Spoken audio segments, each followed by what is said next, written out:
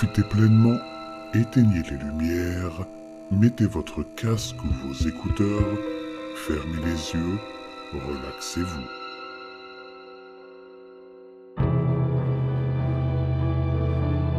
J'aurais dû lire les avis des acheteurs.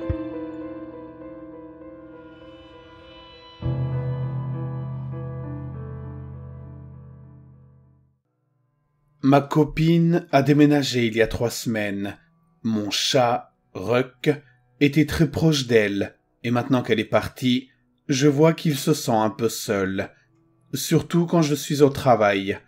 Il m'est arrivé plusieurs fois de rentrer à la maison et de trouver mes rideaux déchirés, ou tout le papier toilette en lambeaux.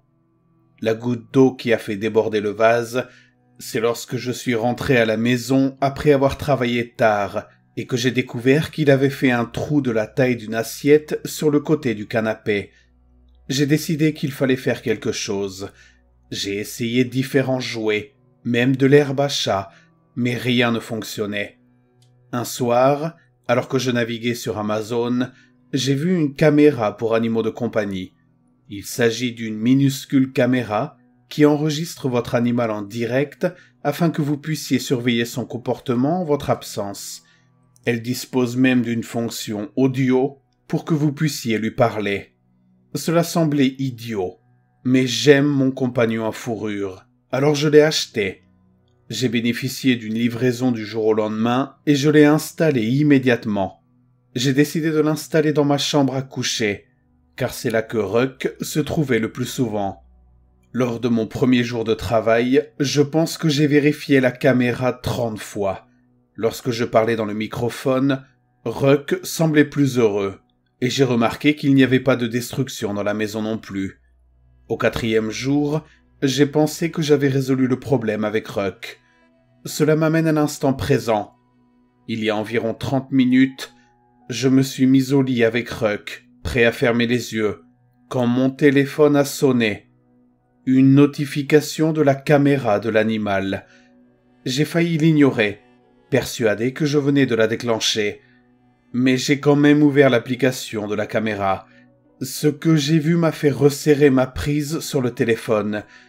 Au lieu d'une vidéo de moi au lit, j'ai vu un homme, grand, disproportionné et déséquilibré dans sa démarche, à la peau pâle et aux grands yeux. Il se déplaçait dans ma chambre à pas exagérés, comme un personnage de dessin animé qui se faufile. Il s'est approché de l'objectif, si près que je pouvais presque sentir son haleine fétide, et il a souri. J'ai immédiatement mis la vidéo en pause, terrifié. J'ai regardé l'endroit où l'homme aurait dû se tenir, mais il n'y avait personne.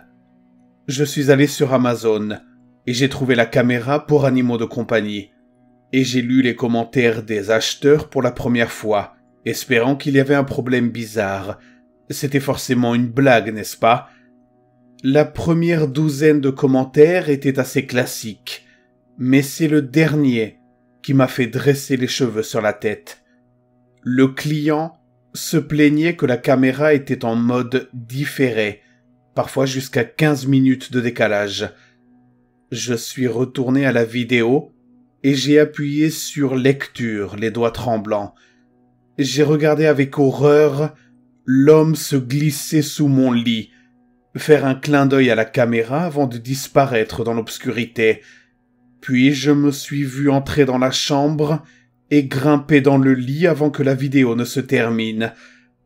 Maintenant, je suis assis sur mon lit, sachant qu'il est en dessous. Je pourrais appeler la police, mais je doute d'en avoir le temps. Alors s'il vous plaît, Faites-vous une faveur et lisez les avis des acheteurs.